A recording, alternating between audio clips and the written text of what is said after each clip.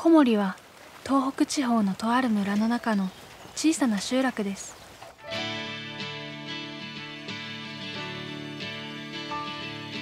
彼とダメになって私はちゃんと向き合えなくてそれで小森に帰ってきたんだ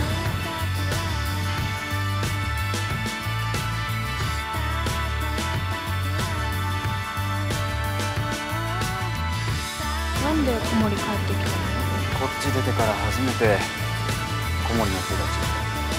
親とかさ尊敬できるなって思ったよ。中身のある言葉話せる生き方してきたんだなって。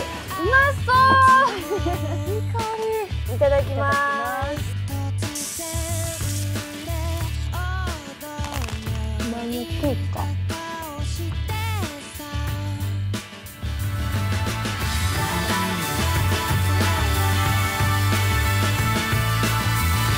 れども